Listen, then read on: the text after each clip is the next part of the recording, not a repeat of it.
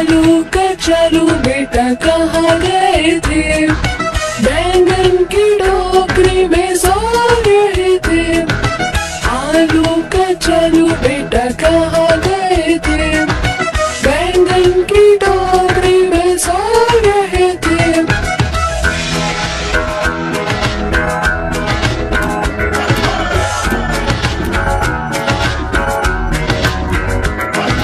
बैंगन में रात